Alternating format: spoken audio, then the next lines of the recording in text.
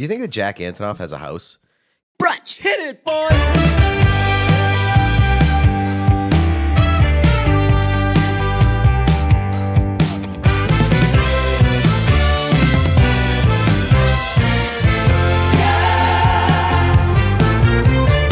We spoke. He listened. Verizon's chief marketing officer is leaving the company after eight years on the job. Let's give it up for him. Good Ab- idea. Absolutely demolished by shame from the Yeah. Brunch podcast. Yeah, we never even ended up. I never ended up finishing the social clip. We had a big week last week on the uh, on the socials. Check the various ones. I learned we had a TikTok even, uh, but uh, I didn't even finish making the clip of the Verizon thing. He, he must have just heard the pod raw dog and was like, "Not to brag, I'm getting cooked." Yeah, he uh, he must have got wind that uh, you know how like when when a scandal's about to break and like somebody who's at the at the center of it hears that they're working on an article. Mm. He heard that you were working on on that clip and premiere, and he was like, "I got to get out of here." On a social, He fled clip. to Mexico. The social clip essentially was Pete saying Verizon on an unforgivable run of ads. The last, and then I'm me saying, and it's always with ex SNL people. And you said, oh well, no, not Paul Giamatti, and I correctly pointed out that he's hosted before. Correct. And uh, then I was going to toss in some not to brag stuff, but quite frankly, uh, I thought we had better moments in last week's episode. It was a really good one, so uh, never got around to that one, but we did enough damage to uh, say goodbye to the great uh, hypnotic review. That's Speaking the of- wrong wrong thing. Uh, Speaking of damage, um, you uh, you made friends with a lot of Taylor Swift fans this week. oh, incredible! I mean, I, I We'll get back to Verizon. Don't worry about it. Remind us, uh, listeners. Uh, I did. We put out a clip of the thing. We we did something that I want to start doing, which is a, a scripted social clip. And uh, if you listen to last week's episode, we came up with the idea on the fly that we should. This episode's a tribute episode to other episodes, by the way. Uh, we came up with the idea to do a, It's social it's a, clip. It's a clip of- show, except that we're uh, we're not playing the original clips. We're doing covers. Yeah, just making them. Uh, we should do that as a clip show. Of things that never happened. No, like like a clip show, like you know how like when sitcoms do clip shows. Yeah. we should do that, but instead of going back and actually pulling the clips, we just reenact them in real time. Instead of oh, I like that idea. Yeah. I've thought about uh, doing some sort of like freshened up rerun of like, hey, let's go back and redo an episode, but it would involve making a script and remembering anything. I would truly involve do. work, which we're not about. Yeah, and I also I really don't remember any episode unless it was one of the more recent ones. Like I Yeah. like off the top of my head, I remember. uh I remember wine actually, which is funny. That should be one of two episodes that we don't remember. That and beer Oh, Evan but- Hansen. Oh yeah. Well, I don't remember Beer Evan Hansen. beer I, Evan Hansen. We were way drunker I was than so drunk. yeah. Beer Evan Hansen. After we kept the party going, and we're just like slamming beers by ourselves at uh, Yeah, at, uh, Tony C's. Tony C's. We were watching a horrible football game. I believe the Philadelphia Eagles were involved, and I remember Dallas Cowboys, and I kept betting and like yes, throwing money I at it. so much money. We and did there live was this bets. guy on a date there that was like, "Excuse me, can't help it over here. What are you guys doing?" And I I was don't like, remember that at all. "Oh, uh, Philadelphia coming back, right?" And he's like, "I mean, like I'm on a date and I'm just barely paying attention to this game. I don't think so." What a time! I don't remember that at all. The only thing that I remember from that that conversation uh, is we like devolved into like a lot of suicide talk. no, like you, yeah, we got it. Eventually got to a uh, like real heavy yeah, place, and that, was, like when you learned that I was suicidal. Yeah, no, that was uh, like an exploratory uh, mental health conversation where you were like, now, you're like a mental health guy. You know when blank. You know when you And think about like- suicide all the time, and you were like, "Mm." I was like, real talk, like that's something that uh, I've dealt with before, but uh, not with any regularity in a long time. And it, that's, I don't think that what you're talking about is a, oh, everybody has it, they just don't talk about it. I think a lot of people do have it, unfortunately. Yeah. But I was like, the thing that you're have talking since about, learned, yeah. I don't identify with. So maybe has like, a term. Check that out. Suicidal ideation. Yeah. So Yeah. It is kind of weird, not to get really crazy, that I've kind of been out of that game for so long. What suicide? Yeah, Yeah. no, truly, like uh, it's it's not on the table uh, for me at all. Not to brag, the Verizon guy's just uh, top mind. Um, but y- y- yeah, like uh, obviously we all have our mental health stuff and everything uh, like that. But that was always kind of part of my cocktail, like just growing up from from when I was in like middle school to uh, maybe like my mid to late twenties, and you, you you never know like how things go and everything. But that true, I, I, I can safely say that's kind of been uh, off my plate for ever. So yeah, d- That's dude, good. That night when you brought that up, I was like, I, it was just good for both of us to. It was good for me to hear it from you, just so I could be like, dude, uh, it was not regular. For, it was definitely good for me to to get like a hey, that's like a not a normal thing. I just thought it was like on the table for everybody all the time. and you probably felt betrayed. You were Yeah, like, "What was- the fuck? like, you're the mental You're the weird guy." one." Yeah. Okay, man. the dynamic shift that we've experienced over the past two years in like first four years of the podcast you were always like the one like explaining mental health stuff to me and like i still need stuff explained to me and laid out to me but like very clear that yeah there was there was uh maybe some stuff that should have been addressed way earlier Like with anything, talk to people. yeah about, about anything. Just have conversations with people about it. Not not to say share your deepest darkest secrets with people that you don't know, but I don't know. Like I I- can't think of much that is best served. Uh, a lot of tweets, I suppose, but I would say like I can't think of much that is best served. Uh, bottled up and shoved down. That's a lot why of I, I tweets a lot of tweets right. you know you know the old meme uh we should all know less about each other Yeah. there's that's never been truer in human history This shirt usually looks good on me. Maybe it's just because I've been going crazy on carbs the last couple of weeks, but this looks terrible on me. I'm going to be buttoning and unbuttoning stuff and just trying different looks with this because I look fucking horrible right now. is the Maybe- beauty of now prioritizing video. Yeah. Fucking, I don't know. I look a little better now, but Jesus Christ. Uh, anyway, uh, so uh, Mr. Diego Scotti has uh, said goodbye. I'm going to do one more button back up. Uh, Oh, Verizon Chief Marketing Officer. He's stepping down after eight years. He uh, says uh, he'll step down after near after nearly nine years on the role. Uh, Wall Street Journal changing its story on the fly. According to people with direct knowledge of the matter, Mr. Scotti told several contacts in recent days that he'd be leaving the wireless carrier, but didn't indicate if he would be moving to another job. They said, "Respect, Diego." Been there for sure. Where you're just like, "Yo, uh, this has got to end. This is gonna end." And then, oh, can't wait to hear what's next. Shut the fuck up about what's next. He's probably just ending. He's probably walking around the office being like, "Not to brag, I got something else lined up." Right. And everyone's like, fuck, where are all our good ideas going to come from? That's because, because, you know, famously the chief marketing officer writes the commercials. They definitely don't hire anybody. I do hold Yeah. this guy responsible for all that, though. I mean, it goes all the way to the top. Yeah. Uh, quote After eight years as our chief marketing officer, Diego Scotti has announced his plans to leave Verizon to focus on building a new chapter in his career and explore new challenges. And while we're sorry to see him leave the V team, original name for Oh, this podcast, we wish him the best in the future. Read an internal memo sent to staff this morning by Hans Vestberg, chief executive of Verizon. Well, we hope the V team can dig themselves out of this. Uh, tired. Um, Scotty doesn't know. Yeah. Wired. Scotty doesn't brag.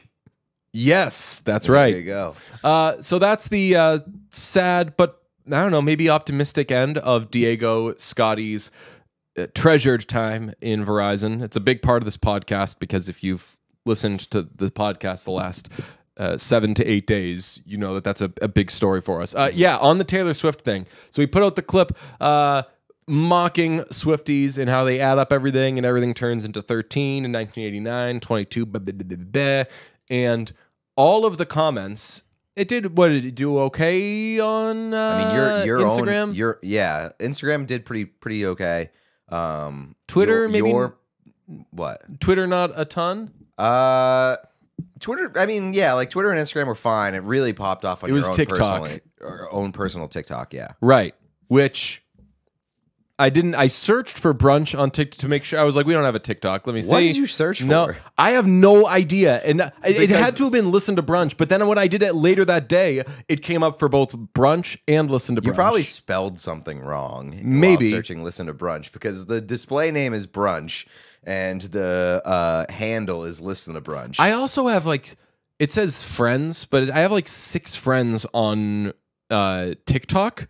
So I don't know how it didn't come up when I hit literally any letter. I don't understand like how the TikTok f- like format or like user interface works. Yeah. it's, it's very confusing. And had you posted on the brunch TikTok yet? Yeah, yeah, yeah. Okay. What? Uh, I, I posted after, like, because like how it works on TikTok is you post something and then it immediately pops up with like something that your friend posted. I posted the brunch thing and it Oh. immediately popped up with you posting the same clip, and I was like, "What the fuck? You didn't let me know." But uh, I mean, good way to let the listeners know that we are on TikTok. We have like four followers. Yeah. Uh, so this has uh, 641,000 views on TikTok. Does it really? And the comments, whoa, 1,316. She always knows comments. And uh, all of the comments, I thought it was to, I started getting more followers and everything, and they all had uh, Taylor in the profile picture. I was like, what the hell's going on here? And all of the comments are like, OMG, literally me, tagging friends and stuff. People separate, like, oh my God, Bestie knows. And I'm like, oh, not Bestie. What the hell is this? So, I let me see. I've I picked up uh I picked up not a ton. No, like a t- I like doubled my What the Instagram fuck? fo- or my uh, Uh, TikTok followers, which I had no TikTok listeners, followers. let me know if I'm allowed to be mad at, at DJ about being a little selfish and posting a brunch bu- brunch clip on his own personal TikTok before giving the podcast account first dibs. Yes. especially when we're trying to grow the TikTok. W- I mean, if that isn't DJ social media in a nutshell, the one time uh, he benefits from social media is when he fucks up. Like the the only way I can ever grow my own social media is by fucking up and posting something that should be on our social media. To be fair, at the same time, like I'm, I'm a little torn on it because like it was your idea to do that clip. You put together that clip. You wrote most of the Taylor stuff. Like it was, it was like a ninety. No, they- you know, it was that- like that was ninety eight percent you thing. If it's a Be- if it's a Beatles song, you'd be like, "Oh, that's a DJ, that's a Paul song." Like, right. that that that was a DJ song, but uh, that doesn't mean that it was that that's way more a brunch clip than it is a DJ clip, though. Yeah, yeah, for sure. It's just you know, I, I don't know. I, I'm glad it, it's beneficial either way.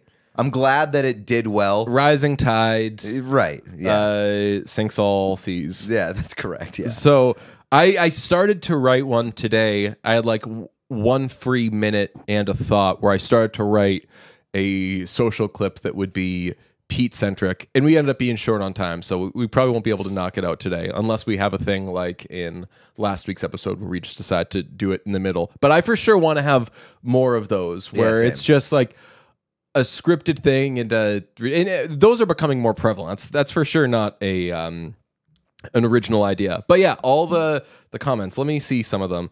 Uh, uh, this is hundred percent how we sound from a Swiftie. So true. Uh, let's see. Uh, this is generally what I sound like. This is me. Uh, she's a freaking genius. But my favorite one is somebody wrote 1975 plus 13 equals 1989. And I responded, okay, FR though. Like, for real. Yeah. And then it's there's a bunch of responses to that, which is a mix of like, holy shit, yes. And like, wait, what's going on here? That doesn't equal uh, 1989. But yeah, so that's uh, the little uh, social media update. Good luck to Verizon. Good luck to Taylor Swift. She's in town uh, this weekend. Yeah. In I am not. I'm famously fleeing. I my I used to do this with uh what's the famously Irish holiday, St. Patrick's Day. Boston. I used to get out of town that weekend if I Really? could. Usually the Bruin because of Bruin stuff I'd have to be around for at least part of it. But I used to love the opportunity to be like, I will go nowhere near Anywhere Boston. else. I feel like yo, people I was wrong about this tour. I think I'd have to check. I told everybody when everyone was freaking out about the ticket sales. they have I was like, down. just wait, they'll come down. That's what we did with uh with them the last time. We got like awesome seats in Atlanta like a month before the show. I I was giving away tickets the last her her last tour when she was at, at Gillette. And this time it's just not stopping. The the Taylor train is really Why- going crazy. Why is that? That is it because she just hasn't had a big tour in like a few years? I think Because Midnights so, was not maybe. good. We can admit that now, right? Like, Midnights was fine. No, it wasn't. It's but Midnights is standard Antonoff Taylor fare, which is like this is okay. There was even a video. Uh, I was gonna be real uh, jerk, but I wasn't. There was a video of a guy in his studio that was like wanted to make it to the Taylor Swift concert tonight, but uh, couldn't afford tickets, so I'll just play one of her songs. And he did like a loop cover of um, anti-hero. Mhm. and he did it all on the fly very nice very tasteful. And he was just looping two measures of music and then just kept building on it and was able to do the whole song.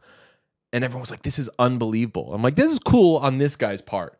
But if you can loop two measures of music and never have to change anything the whole time and do an entire song, maybe that song's not the smartest thing in the world. But I don't know. Work smarter, not harder. That's right. Uh, I don't know if it's smarter. On the Antonoff note, uh, there was a picture that did surface this week of Taylor and Matty Healy out at like some restaurant or something. Ooh, watch the spicy. food. Sizzling fajitas to yeah. that table. Don't burn your mouths. Uh, no, there was a picture of them, and not more than five feet away was one Jack Antonoff. He's just like their pet. He's always around. It's just any picture of like any celebrity, Jack Antonoff's five feet away. Uh, I'm I'm not going to make it to the Taylor Swift concert this week. I have been seeing like clips and the whole thing looks fun. Taylor did get a lot of praise the Gotta other day fun. though because she yelled at uh, a security guard. Yeah, That poor fucking guy. yeah, he never to be seen again. He's You dead. did, you know that they they escorted him out. the security guard? Yeah. Oh wow. Did you, did you see Who- the who- story? Who, uh, escorts a security guard?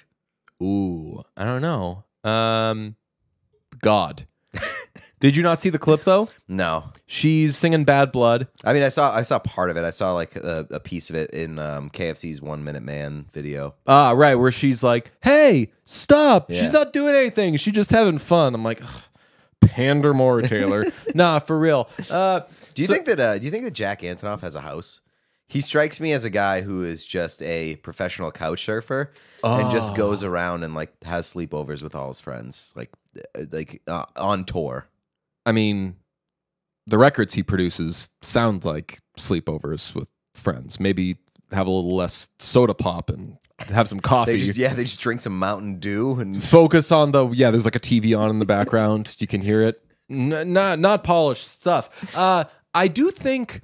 I, I want to say uh, that maybe even in like the fun days, I think he was maybe still living at home. I could be making that up, but uh, I know that. Oh, I remember you talking about like. Oh, a- yeah, right, he didn't did, like- exhibit. yeah, he did like a.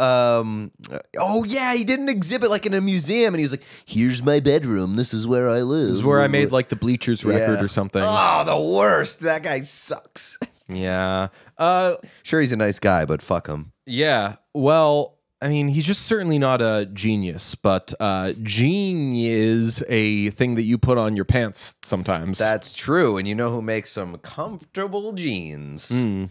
Not Muggsy Bogues, but the company Mugsy. They make the most comfortable jeans, but not only just jeans. They've got chinos, joggers, uh, plenty of other stuff that you put on your pants and I mean on your legs and can be called pants.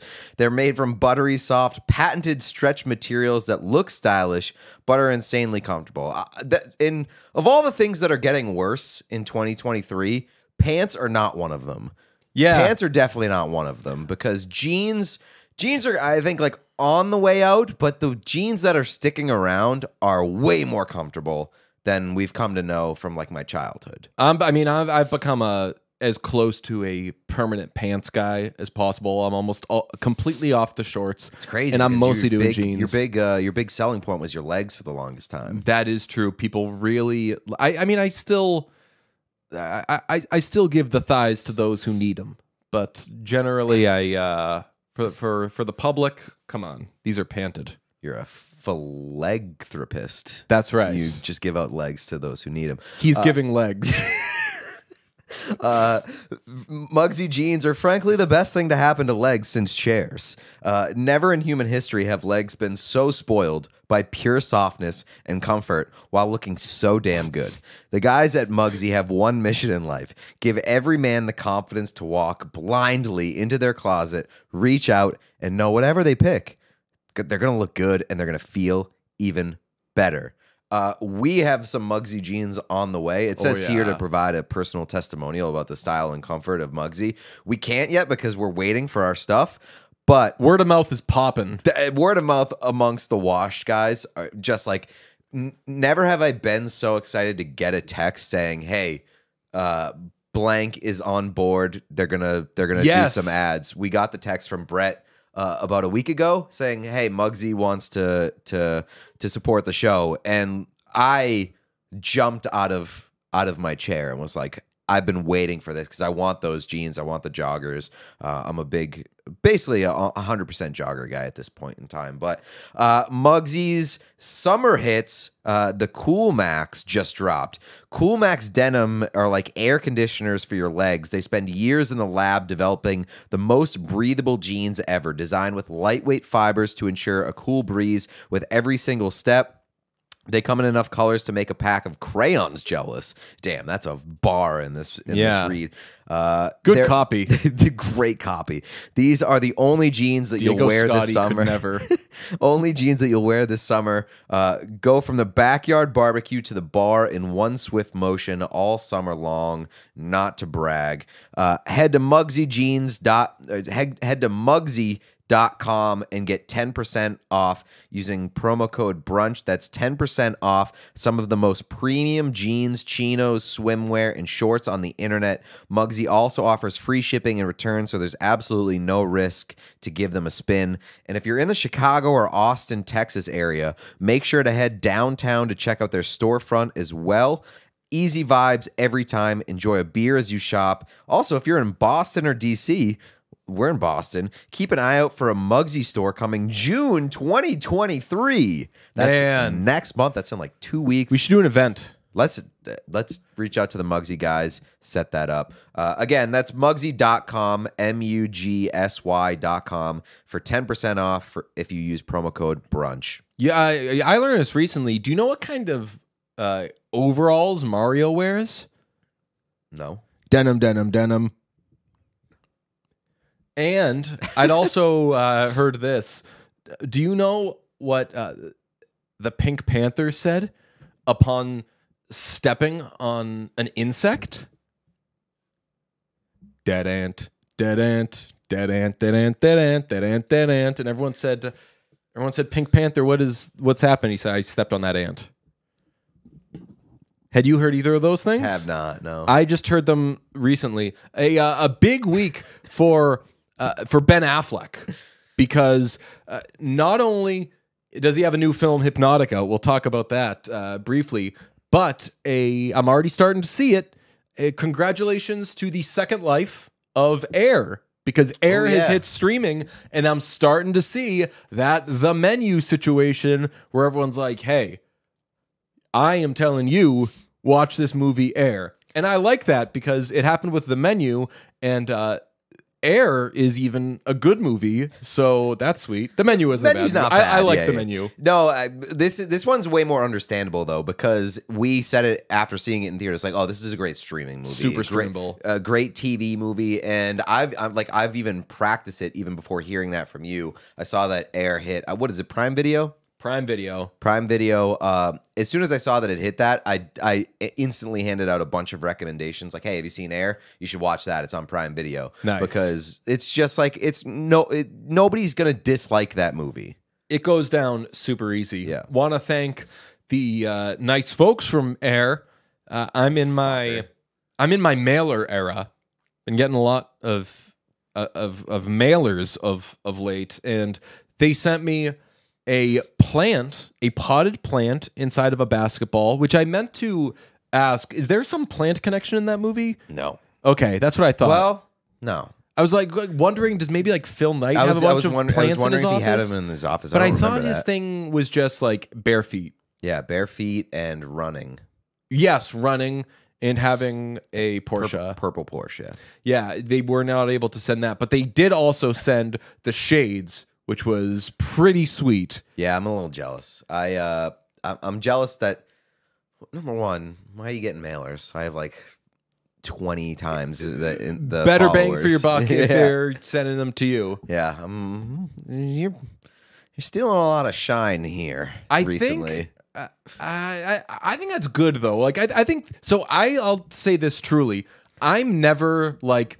How come Pete has more followers than me? Yeah. Like I think that Pete should have more followers than me. He's better at social media. I agree. But we do enough stuff together that we also will do a lot of things in person with people. And when we're in person, I don't feel the like uh DJ's not pulling his weight No, or whatever no, no, or an- anything. Also, I think that you're better at schmoozing and doing favors. Right. Yes. So like if if we're doing a thing, uh, I'll shake the hands and Yeah. I'll kiss the babies, and, And as long as people know, like you can blast out the tweets, and then but because we've done things before with people where I've been like, uh, okay, and uh, Pete Blackburn will be there, and the person will be like, sweet, and I'll be like, he has. 900 million Twitter followers, and then they'll respond and be like, Holy fuck, Pete's cool. And then, like, they meet you and they're like, Yeah, Pete's cool. Whereas, I don't know, if somebody who's not on social media and they don't get that heads up, they'll just be like, Oh, these are two people and they seem nice. It's good when where we are a good team because when we meet people together, they're like, we know what we can get out of each of these people. And the fact that they like doing stuff together seems like a win for Our us. str- our strengths align yeah, definitely. in terms of like making sure all bases are covered. so, Air, Affleck, have you watched it yet? Affleck, Have you streamed Air again? No, yeah. no. I haven't either. I've I've had too much hockey. I've had uh what what have I been watching? Uh oh, I'm back on Nathan for you. Weird. Because I saw somebody tweet a thing that was like, I don't know who this man is, but he's ridiculous. and it was Nathan setting up Nathan Fielder setting up the thing of uh I'm going to get out of these handcuffs because if I don't, I'm going to expose myself to children. It's the best. it's the best bit. Yeah. So I've been watching bit. that of late. Uh, Barry has jumped into the future, and I'm loving these episodes of Barry. Succession, I'm kind of ready for it to end, but I liked this past episode. And I've liked all the episodes, but I also am ready for it to end. It, in in like not in a like all right, let's get to the the finish here, but like they're doing so good at building up to the finale that I'm like, oh damn, okay, I'm I'm ready to see what happens. I think it makes sense dramaturgically. yes, for for sure. for it to end. Uh, but the thing that we both did watch this week, and we're not going to do a full fledged movie review with the music and the graphics and everything because uh, I don't know, it just feels wrong to break down this movie. Uh, the the new Robert Rodriguez film titled uh, Hypnotic, for which we saw the trailer maybe a month or two ago, being like, "Hey, there's another Affleck movie coming out. He's Yeah. bad. Is feel, feeling like I remember we said uh, feels like '97 right. because Affleck's doing a bunch of movies. This And is also Rod, Robert Rodriguez is in the news. yeah. Feels like 97. Why has he been uh, quiet? Yeah, I think so. Like what was the last big Robert Rodriguez vehicle? Let's see. I feel like he's lost quite a bit of steam. Robert Rodriguez vehicles. Uh, the thing is with these things, if you just Google a director, uh, it'll have like a bunch of things on which they're a Best hits? producer or Oh, whatever, that- yeah, no. and you'll be like, "Yo, they didn't do whatever." Uh, like the book of Boba Fett, Boba Fett, Boba Fett, yeah. executive producer. Yeah, let's see. Wh- Where what's the last thing he directed? Yeah, I'm not. It's been uh, a while. You are right. Uh, but this is a movie.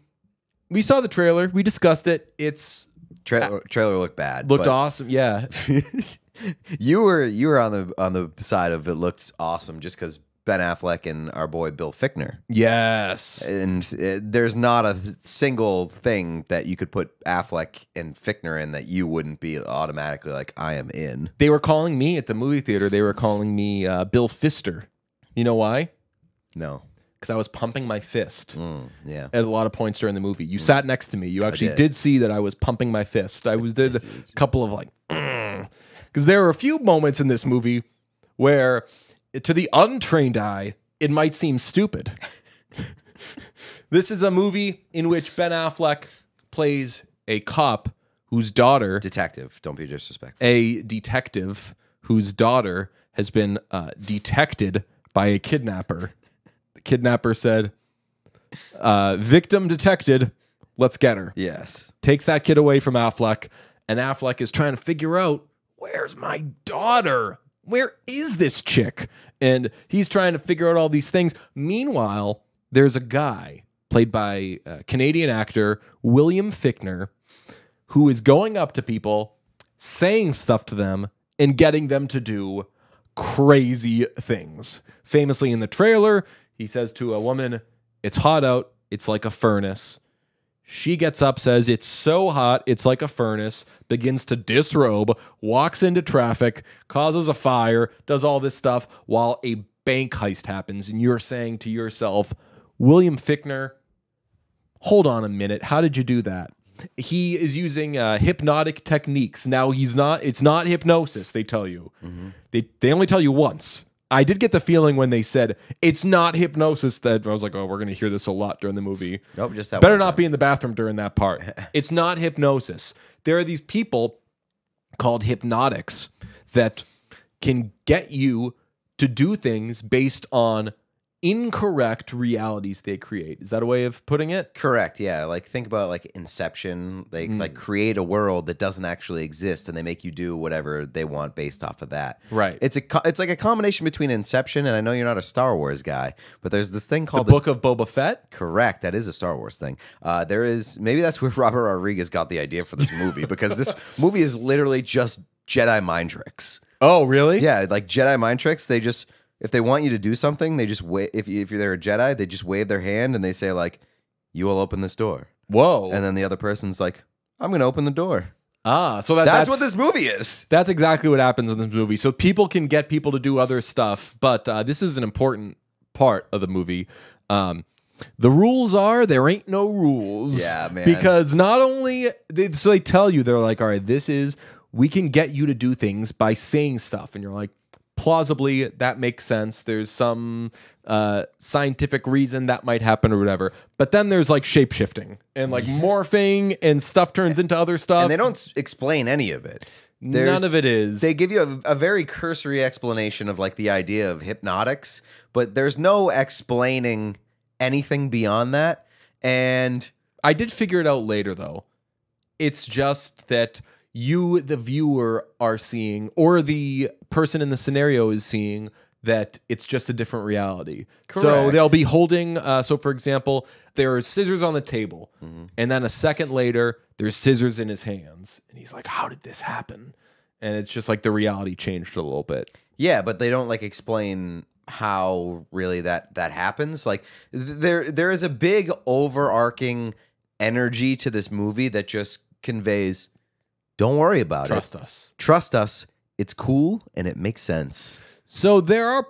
I did get some uh, notes of it, it. It was giving rad bro at points where I was like, just like this is like like I want to call Feidelberg and put him on speaker during it and being like, hey, are you at this movie right now? Affleck is there's like a car blew up and Affleck is pissed, and I feel like that's the type of thing where Feidelberg would be like, yeah, It did seem like it wanted to be a movie that was like in the early aughts. yeah, like those that kind- Colin Farrell, yeah. yeah. Yeah, like it, it had like phone booth energy to it, Mm. but not in a not in a like a tasteful throwback enjoyable way. It's just like my brother, you haven't grown up. You're living in the early aughts and you're making stupid movies. Yeah. I mean, the stupidest thing about the movie, if I may spoil it, you can skip ahead in like 15 seconds. Listen, if we spoil this movie, you can't be mad at us. We're doing you a fucking favor. You No. can save your time with this movie. I mean, it is like I. it is a I it's very bad. it is it's a, a- very bad movie.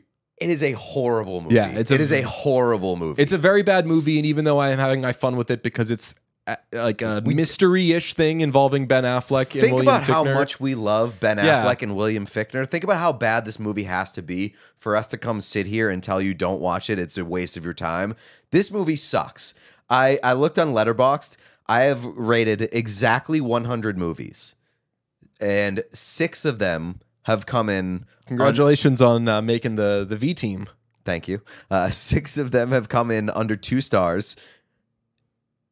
This one is one and a half stars. Deep Water. and Deep Water is another one that came in, I think either one or one and a half or two. Uh, but two of Ben Affleck's latest movies have been like two of the worst movies that I've seen in five, six years. That's how I like my Affleck. Bad movies and great movies. Nothing in between. I don't like me a mediocre Affleck movie.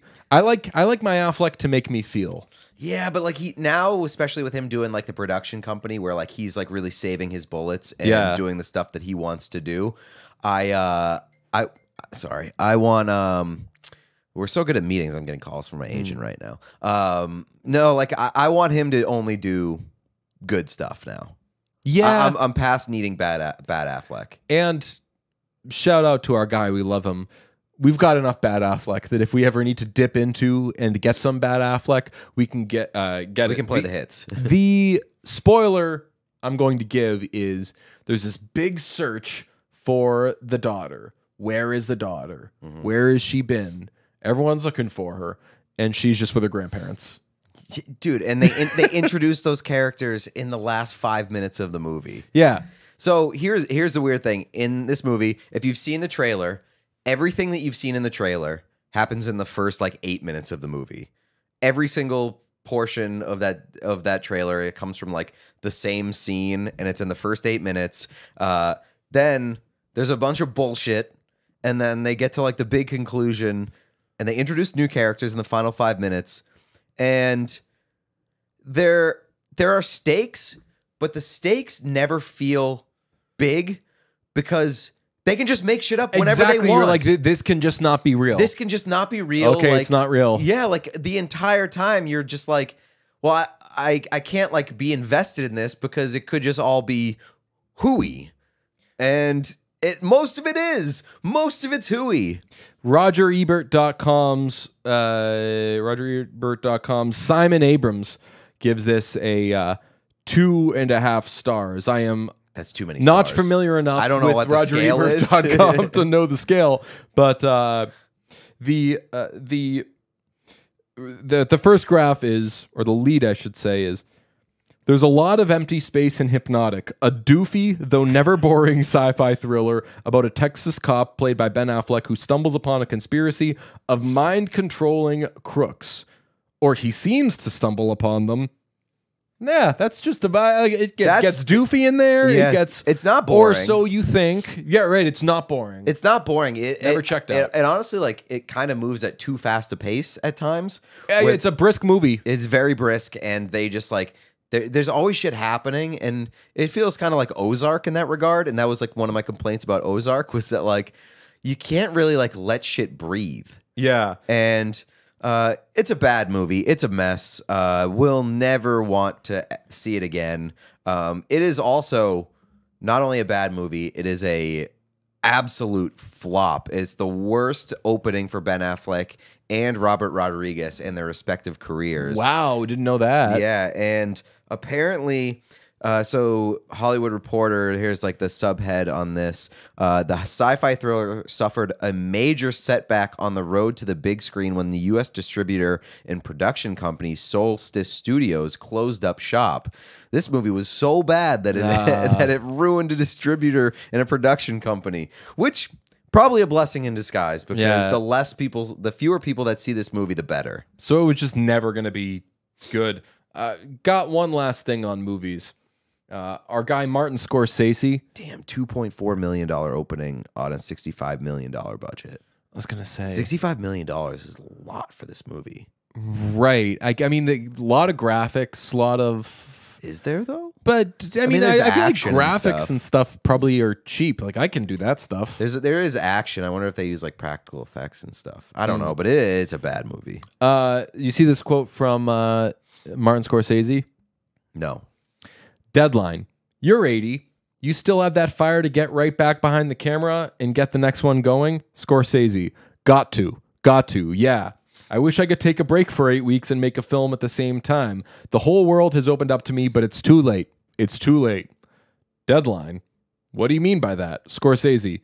I'm old. I read stuff. I see things. I want to tell stories, and there's no more time. Kurosawa, when he got his Oscar, when George Lucas and Steven Spielberg gave it to him, he said, I'm only now beginning to see the possibility of what cinema could be, and it's too late. He was 83. At the time, I said, What does he mean? Now I know what he means. Imagine, I used That's to experience sad. this uh, with. Uh, with uh, the hockey player David Krejci, where you could ask him absolutely any question in the world, and if he had something he felt like saying, that was going to be his answer. Yeah. Uh, the the famous example, famous, uh, is uh, I asked him something about uh, after a, game. Uh, he, he said like this stick sucks, and I was like, what? And he was like, my stick sucks. I was like, your stick sucks. And he was like, yes. They said they were going to send me the stick that I use, but they said that they're all out. They're sending so and so his sticks, and I don't have my sticks. Like.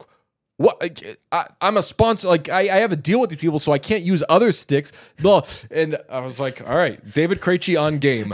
I I don't like my hockey stick right now. I think he like scored two goals in that game. Uh, Amazing. but uh, yeah, it's it's uh, the quick side note. I'm I'm so mad that all of weei.com's like content has been wiped out. Yeah. My entire writing career just doesn't exist anymore. And there was some real fun stuff in there. Uh, anyway, that's Martin Scorsese being like, "I'm dying."